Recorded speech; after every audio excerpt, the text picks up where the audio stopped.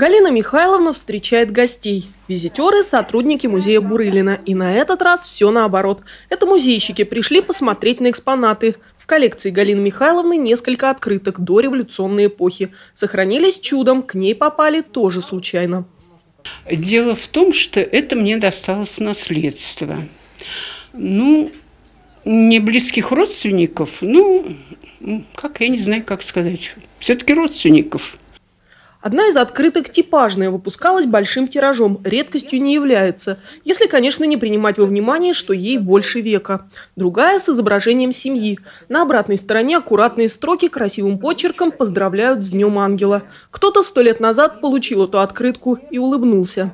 Но любимая карточка хозяйки сокровищ вот эта, с видом Симферополя царских времен, когда споров о территориальной принадлежности полуострова и в помине не было ездили каждый год отдыхать туда. Вот это мне знакомо. Все побережье. Потом вот э, я очень рада, что Крым все-таки вернулся к нам. У сотрудников музея эта карточка тоже вызвала интерес, но уже профессиональный фотооткрытки, вот эти иллюстрированные почтовые карточки. Точно такие же собирал и основатель нашего музея Дмитрий Геннадьевич Бурылин. В фондах нашего музея хранится целый альбом с видами Крыма. Кроме открыток у Галины Михайловны есть коллекция денежных знаков. Правда, чуть более поздней эпохи. Это большая 1920 года. Совсем маленькие, никак не датированы. Бумажные денежные знаки, которые относятся к фонду банистики. Большой интерес представляют вот эти маленькие 20-рублевые, 40-рублевые э, бумажные денежные знаки, которые вполне украсили бы фонд нашего музея.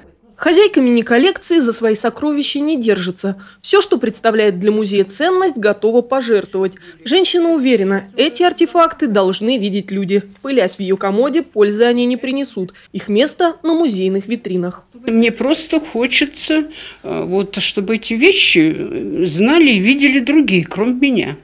То, что экспонаты царских времен сохранились в хорошем состоянии – редкость. В музее же вещи со столетней историей отдают еще реже.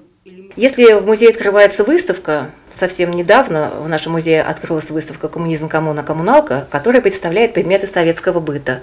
И начался буквально поток людей, которые хранили точно такие же вещи, предметы быта, те же открытки, документы, фотографии, журналы советского времени. И все это в большом количестве приносят в музей. Но э, поступление до эволюционного периода, они значительно реже.